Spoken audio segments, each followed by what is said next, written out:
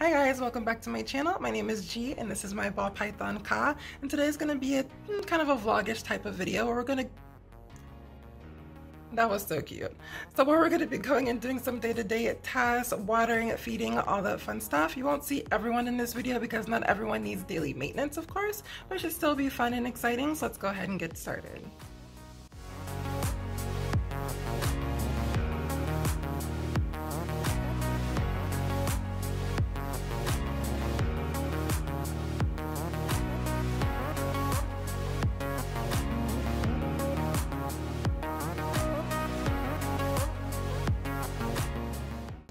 So of course, starting out the day to day after turning on all the lights, which I just skipped, we're doing the misting, of course. This is Maleficent's enclosure, who is my mountain horn dragon.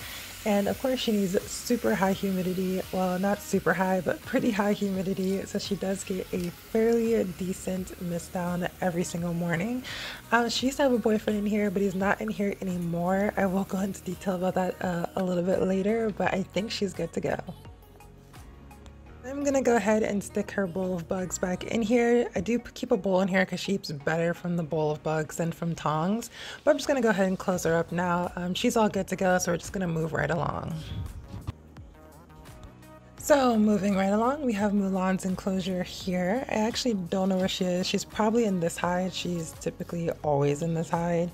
And I actually do not see her in this hide. I actually have no idea where she is then because she basically lives inside this. So uh, hopefully we don't have our first escape here on the channel, but she might be in this right hide as well. So yeah, okay, so she's definitely in this right hide. She never comes over here.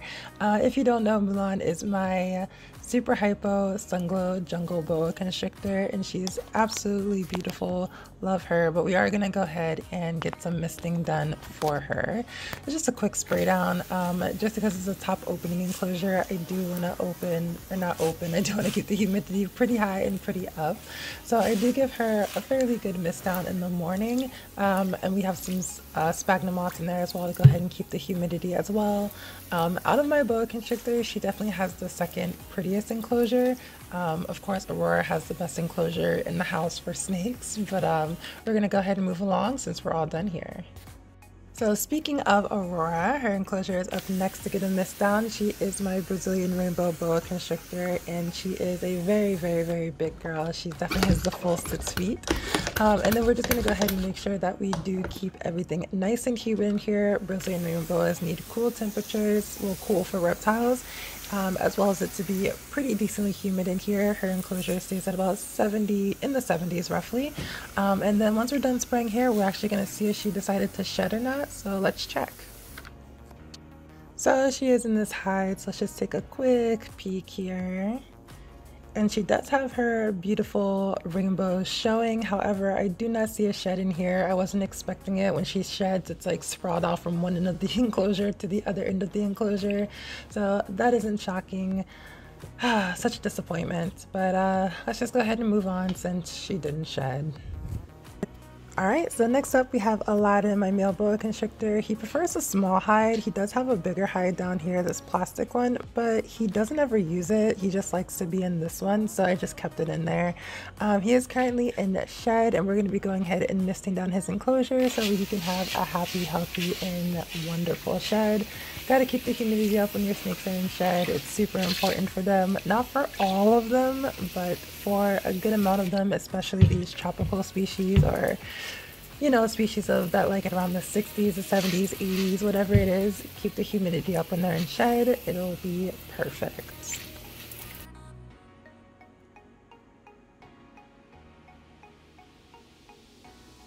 So these guys are what you didn't see in my feeding all reptiles video, which my which are my Egyptian false cobras. Jack is there is on the right side, and his girlfriend Sally here is on the left side, inside of the hide. Their enclosure is always kind of messy just because they're pretty destructive. They're a burrowing type of species. And so let's go ahead and lift up the hide and check on Sally. Yep, she's right in there. She did just eat, so she's pretty full and pretty done for today. Um, but I absolutely love watching them. They dig like shovels. If you haven't seen my Instagram video, it's it's amazing. Um, and their camouflage is just perfect. Oh, moving along to Bambi, who is my new guinea frilled dragon. I love her. She is currently in shed, as you can see on her back frills and legs, and a little bit on the tail. We're going to be changing her water, pulling out some stuff, and uh, getting her nice and taken care of. So first things first, we take care of this water. It's pretty dirty in there, so I'm going to take her out since it supports one of the branches. And this isn't really going to be that fun because she's a little jumpy. Yep.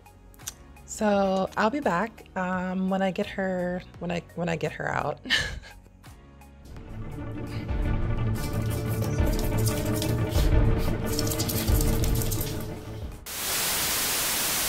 Okay, so now that I actually have her, I'm just gonna go ahead and let her soak for a bit.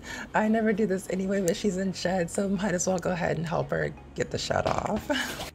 And then just because we always see Bambi's enclosure from the back, which looks awful, this is Bambi's enclosure from the front. I do need to add, I think, one or two more branches to the right side, but she has plenty of climbing space. Um, I probably will add some more greenery in here as well. I've been thinking about hanging some plants from the from the top, but we'll see how that goes. She's good for now. So while Bambi is soaking here, we're going to try and feed the false Egyptian cobra. They haven't really mastered the tong thing.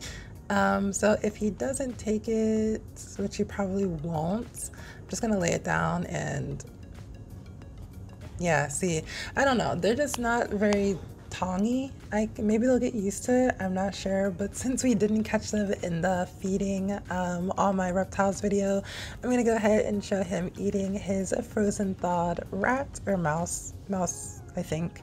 Pretty sure it's a mouse.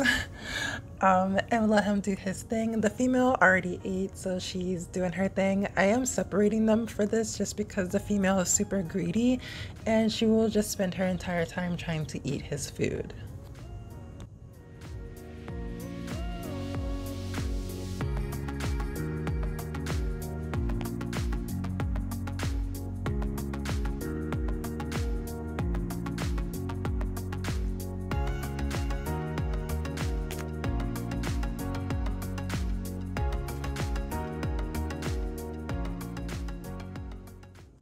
So this is the home of Aquila, my false water cobra. Right now it is dirty in here and kind of boring. You can see she he took a giant poop. The water level is basically non-existent.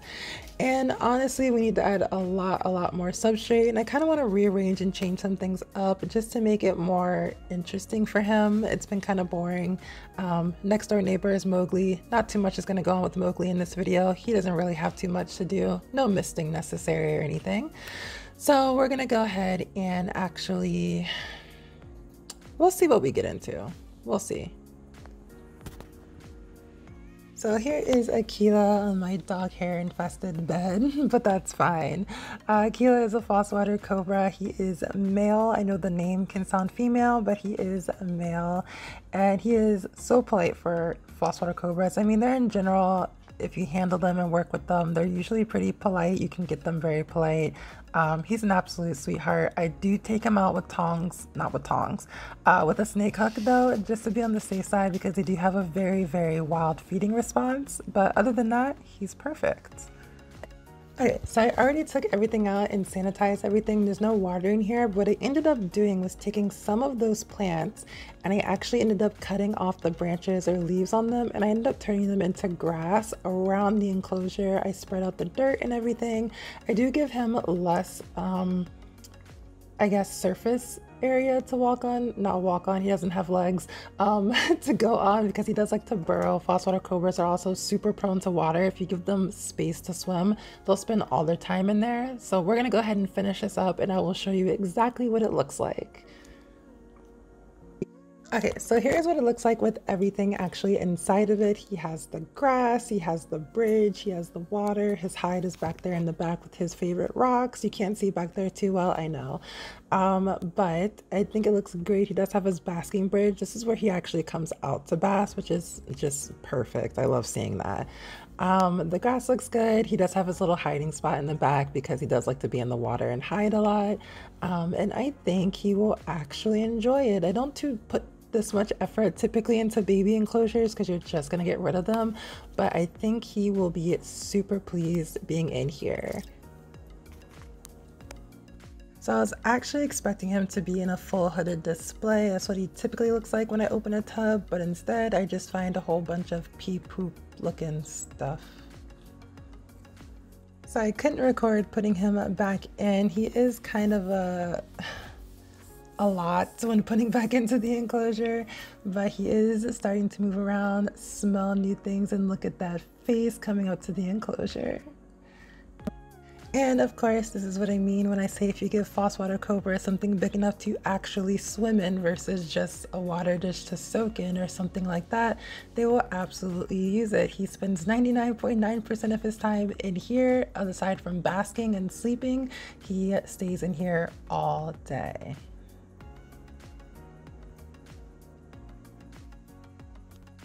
And last but certainly not least, we have Kita the Tegu, who, believe it or not, I actually cleaned this enclosure like two days ago and it looks like I haven't done anything at all. So we are going to be going in here cleaning especially that dirty water dish and getting her nice and fed. She's not going down for winter.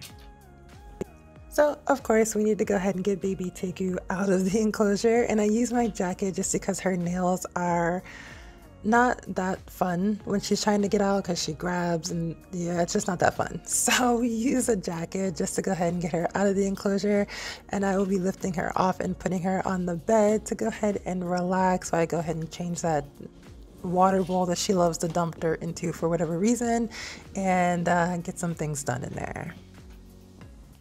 So it's looking a little better in here. I'm gonna go ahead and grab Kita now um, and see if she's ready to eat. Oh, for fuck's sake. All right, so that was definitely not as graceful as I wanted to go in. She kind of just jumped right on in, but she headed straight for the water. Of course, you don't have water if you just put mounds of dirt into it, but we're just gonna ignore that fact. She's a tegu, um, and that's what they do. They make a mess, and they enjoy doing it, so be prepared. So here we have a pretty basic small meal for Kita. She has been slowing down on feeding, but I can tell she's not going down. So we're just gonna give her a little bit of chicken, a little bit of tomatoes, and just call it a, wow, okay. So I said she was slowing down, but she's obviously like super hungry. So, you know, that's fine. Uh, I'm just gonna go ahead and leave the bowl here and let her do her thing that's it for today's video. If you did like the video, of course, like, comment, subscribe, and share. And to keep up with me as well, you can follow me on Instagram at ReptileTrainerJi, and then we will see you in the next one.